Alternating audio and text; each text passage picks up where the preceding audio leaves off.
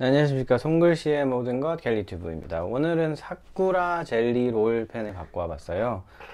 뭐 아시는 분은 다 아시고 인기 상당히 많은 볼펜이었잖아요. 예전에 저희 초등학교 때도 이 이름은 기억 안 나는데 약간 그 은색깔 빛이 도는 이거랑 비슷해요. 사쿠라 젤리 롤 메탈릭이랑. 예, 그 나와가지고 상당히 신기하다라는 생각을 많이 했는데 그때 인기 한창 끌었습니다. 그때 이름이 생각이 안 나요 어쨌든 그때는 뭐, 뭐 브랜드도 모르고 뭐 심굵기도 모르고 그냥 예, 볼펜이다 해서 썼던 시기였으니까. 자 오늘은 젤리롤 사쿠라 젤리롤을 가져와 봤습니다. 사쿠라는 일본 네 당연히 일본 제품이고요. 블로그를 쓸 때 사쿠라라는 단어를 적으면 벚꽃이라고 바로 이제 자동 어, 수정이 돼 버려요. 예, 그 정도로 우리나라는 일본어에 민감한데 어쨌든 사쿠라를 쓰면서 블로그 쓰면서 기, 어, 바꿔지는 그런 게 기억이 많이 나서 한번 얘기를 해봤습니다. 자 사쿠라는 일단은 이렇게 색깔이 특이해서 인기가 많고 그 다음에 잉크가 중성 잉크다 보니까 잉크가 약간 줄줄 나와서 오히려 그게 약간 3D 효과도 주고 좀 볼록 튀어나게 튀어난 느낌을 주기도 하죠. 그래서 더욱더 artwork 할때 인기가 좋은 것 같습니다. 자, 사쿠라라는 브랜드에서 만들었고요. 자, 바디 컬러는 clear합니다. clear입니다. 투명이에요. 그래서 안이 보여요. 네, 안이 보이고요. 자, 바디는 처음부터 끝까지 다 플라스틱으로 되어 있고 어, 그립이 따로 없습니다. 그립이 없고요. 팁도 플라스틱이고 네, 전부 다 플라스틱이라고 하면 돼요.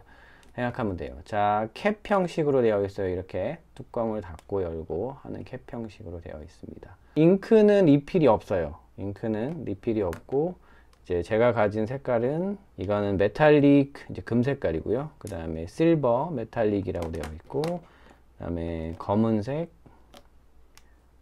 그 다음에 하얀색 이렇게 있습니다. 심 굵기도 0.8 이건 0.6 예, 제가 갖고 있는 거는 이렇게 있네요.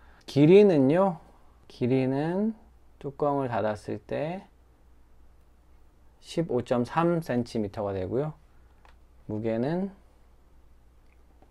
뚜껑을 닫았을 때 8g 됩니다. 예, 오피셜하게 8g이라고 나와 있는데 정확하게 8g이 나오네요. 그리고 이거는 이제 방수가 됩니다. 물에 잘 안 번지는 잉크를 또 자랑을 합니다 그래서 물론 뭐 썼다가 바로 하면 번지겠지만 조금 놔두면 이제 물에 잘 안 번지는 그런 효과를 줄 수도 있습니다. 지금 갖고 있는 종이는요, 그 내 손의 캘리그라피라고 한국 제품인데 이 제품과 검은색 제품과 여기 이 페이퍼는 하얀색, 검은색, 골드 뭐 이런 식으로 있어요. 예. 하얀색에 검은색을 쓰면 상당히 예뻐 보이거든요. 그래서 한번 적어 보겠습니다.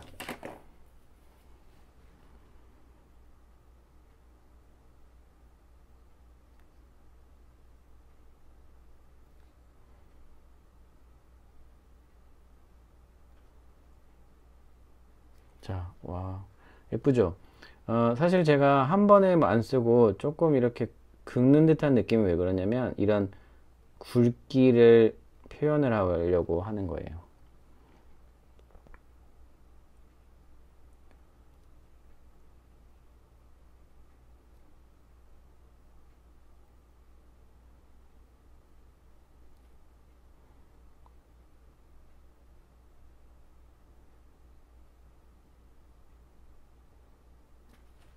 자, 아주 예쁘죠? 그래서 검은색의 흰 바탕을 쓰면, 흰 펜을 쓰면 상당히 이렇게 예쁘게 나와요. 저는 따로 캘리그라피 액자도 만들어서 판매를 하는데요. 이렇게 한글 같은 경우에는 검은색 바탕에 검은 종이에 이렇게 쓰면, 이렇게 써서 액자를 주면 상당히 좋아합니다. 이거는 썼다가 제가 테스트로 해서 망친 거거든요. 망쳤다기보다는 그냥 테스트로 해서 해서 지금 이 종이는 버릴 종이라 테스트로 한번 써봤습니다. 손쉽게 구할 수 있고 가격도 비싸지도 않고 어, 재밌고 쓰면서 그래서 맨날 검은 펜 혹은 뭐 하얀 종이의 검은 펜이라든가 파란 색깔 뭐 여러 가지 색깔 쓰지만 이렇게 검은 바탕에 하얀색을 쓰기라는 어, 뭐 이렇게 흔하지는 않았을 거예요. 그래서 이렇게 쓰면 어, 재밌습니다. 그리고 뭐 이런 여러 가지 색깔도 있고요. 그래서 오늘은 이제 사쿠라 젤리 롤 펜을 한번 리뷰를 해봤습니다. 펜을 구하시, 어, 구입하시는데 도움이 많이 됐으면 좋겠고요.